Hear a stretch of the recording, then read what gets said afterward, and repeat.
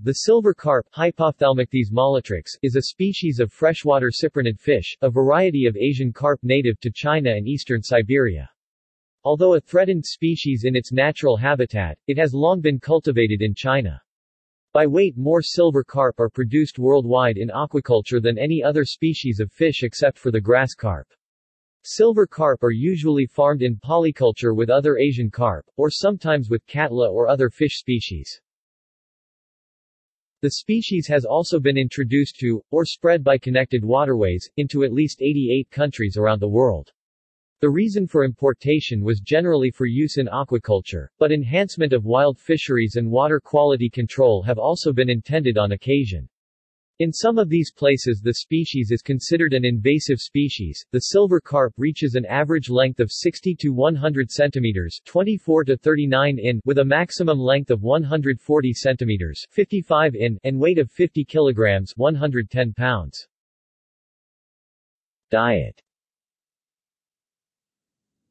The silver carp is a filter feeder and possesses a specialized feeding apparatus capable of filtering particles as small as 4 micrometers. The gill rakers are fused into a sponge-like filter, and an epibronchial organ secretes mucus which assists in trapping small particles. A strong buccal pump forces water through this filter. Silver carp, like all hypophthalmichthys species, have no stomachs, they are thought to feed more or less constantly, largely on phytoplankton. They also consume zooplankton and detritus. In places where this plankton-feeding species has been introduced, they are thought to compete with native planktivorous fishes, which in North America include paddlefish Polyodon spathula, gizzard shad Dorosoma cepedianum, and young fish of almost all species, because they feed on plankton. They are sometimes successfully used for controlling water quality, especially in the control of noxious blue-green algae cyanobacteria. Certain species of blue-green algae, notably the often toxic microcystis, can pass through the gut of silver carp unharmed, picking up nutrients in the process. Thus, in some cases, blue-green algae blooms have been exacerbated by silver carp. Microcystis has also been shown to produce more toxins in the presence of silver carp. These carp, which have natural defenses to their toxins, sometimes can contain enough algal toxins in their systems to become hazardous to eat. Ecology and conservation The silver carp in its natural range migrates upstream for spawning, eggs and larvae then drift downstream, and young fish hatch in the floodplain zone. Larvae and small juveniles feed on zooplankton, switching to phytoplankton once a certain size is reached. The species is somewhat sensitive to low oxygen conditions. The species is currently classified as near threatened in its original range, as its habitat and reproductive behavior are impacted by construction of dams, pollution, and overfishing. Population declines appear to have been particularly significant in the Chinese parts of its range. Sport fishing Silver carp are filter feeders, thus are difficult to catch on typical hook and line gear. Special methods have been developed for these fish, the most important being the suspension method, usually consisting of a large dough ball that disintegrates slowly, surrounded by a nest of tiny hooks embedded in the bait. The entire apparatus is suspended below a large bobber. The fish feed on the small particles released from the dough ball and bump against the dough ball, with the intention of breaking off more small particles that can be filtered from the water, eventually becoming hooked on the tiny hooks. In some areas, it is also legal to use snagging gear, in which large, weighted treble hooks are jerked through the water, to snag the fish.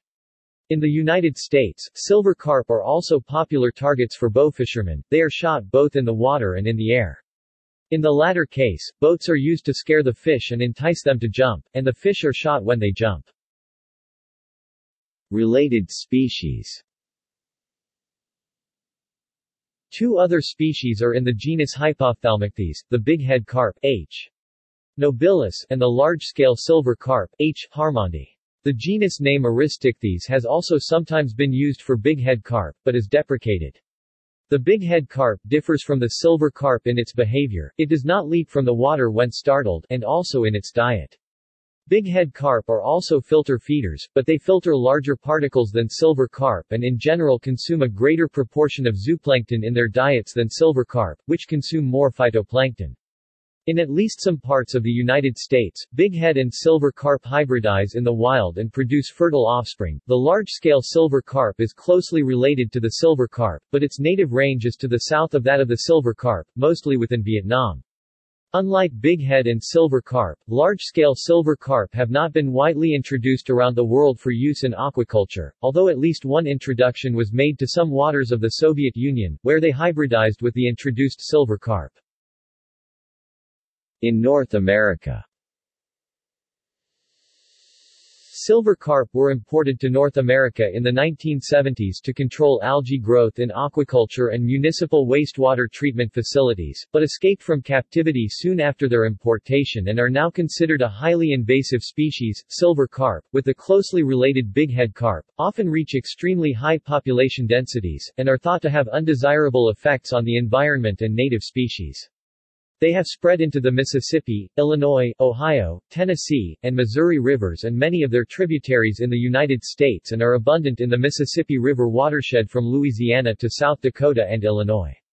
Navigation dams seem to have slowed their advance up the Mississippi River, and until late November 2008, silver carp had not been captured north of central Iowa on the Mississippi. Dams that do not have navigation locks are complete barriers to upstream natural movement of silver carp, unless fishermen unintentionally assist this movement by the use of silver carp as bait. The silver carp is sometimes called the flying carp for its tendency to leap from the water when startled. It can leap up to 10 feet 3.0 meters into the air. Boaters traveling in uncovered high-speed watercraft have been reported to be injured by running into the fish while at speed. A leaping silver carp broke the jaw of a teenager being pulled on an inner tube, and water skiing in areas where silver carp are present is extremely dangerous. References External links Species profile silver carp, Asian carp, Hypophthalmichthys molitrix, National Invasive Species Information Center, United States National Agricultural Library lists general information and resources for silver carp. Carp Spatial Tool